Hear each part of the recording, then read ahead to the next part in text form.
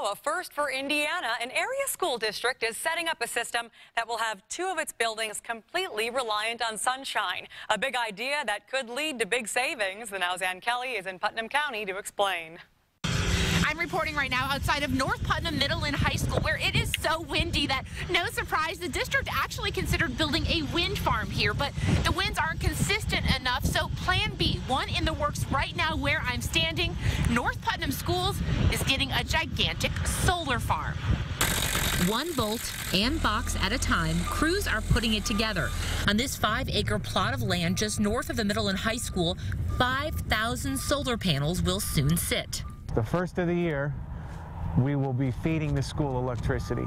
That from Jamie Krinsky with Johnson Melloh Solutions, the company putting this $4 million project together making North Putnam Schools the first district in Indiana to run two of its buildings completely off what's called net zero solar energy, a system that will allow the school's electricity meters to actually run backwards, let them build up credit with Duke Energy. It's going to run the football lights, the, the baseball lights. And most importantly, Superintendent Dan Knoll tells us this project it's going to save North Putnam lots of money. Consider that the panels will be paid off in 20 years. They won't need to be replaced for 40, and that the district is now paying a fixed cost on energy. There's only a few ways to actually gain money, and one is by how many students you have in your school. Well, we've had a declining enrollment. Well, when they came to us and said, you could do this, well, that meant that all of a sudden we could generate some more money.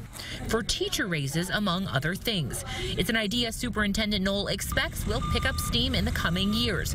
As he says right now, he's getting three to four phone calls a week with questions from other school districts considering switching to solar.